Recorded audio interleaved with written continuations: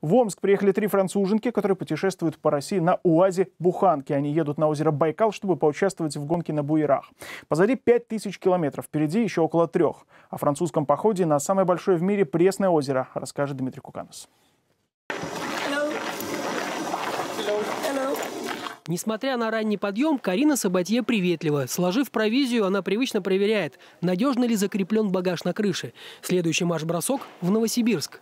Ее подруга Элоди Аро тем временем наводит порядок в салоне и попутно перечисляет уже взятые города. Казан, э, Москва. И в каждом теплый прием у своих друзей по социальной сети и просто неравнодушных людей. С обязательной экзотикой, будь то банька или обед у огня.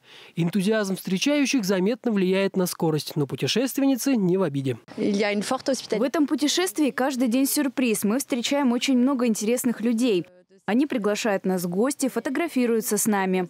Мы принимаем эти приглашения, в этом и есть смысл путешествия. Это и превосходно. Но все же главная цель – это застывший Байкал, ветер и скорость. Путешественницы едут, чтобы принять участие в гонке по Байкалу. Ледовые просторы знаменитого на весь мир озера притягивают спортсменов издалека. Снаряжение для буера не берут в багаж ни в поезд, ни в самолет. Потому-то средством передвижения и была выбрана наша буханка, пусть и с номерами Евросоюза. Заказать доставку транспортной компании не намного дешевле, чем привезти самим. Вот и едут отважные парижанки через полмира, чтобы встать под паруса. А заодно и открывают для себя Россию не по учебнику, а на своем опыте.